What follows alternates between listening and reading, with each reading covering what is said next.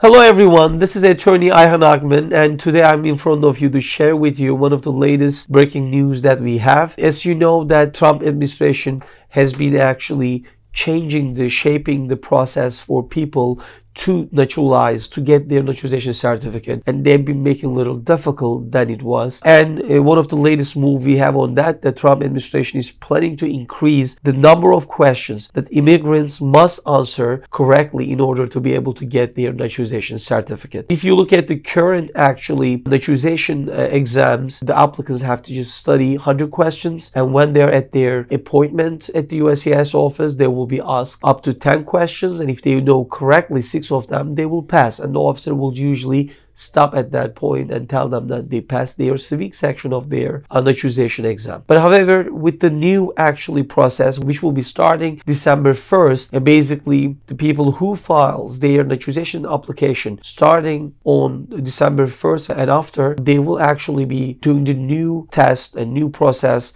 when they appear for their appointment. And with the new actually changes, what's going to happen is now people have to study almost more than 120 questions and at the appointment they have with the, at the USCIS office, they will be asked 20 questions out of those questions, and they have to answer 12 questions correctly from those 20 questions that they will be asked. Even if they know those 12 questions correctly, the officer will continue asking the rest of the 20 questions until they complete all the questions. So basically, this is the change from the current actually exam process, which looks like that is going to be more difficult questions, and then they have to know those correctly, uh, more questions correctly. So based on this, I, we just wanted to actually let our followers know that if you are actually eligible to file naturalization right now, do that before actually December 1st so you can still take advantage of the current exam process rather than the new one. As you know that the Trump administration has been making difficult and difficult for green card holders to get their naturalization certificate but we are hoping that since Trump administration is going to change and then the Biden administration is going to take over starting January we're hoping that the new administration will actually change this policy and it's not going to make that difficult for people to become actually naturalized. So I hope that this breaking news and this information helps you guys. And if you have any questions, feel free to reach us and have a great day and talk to you soon.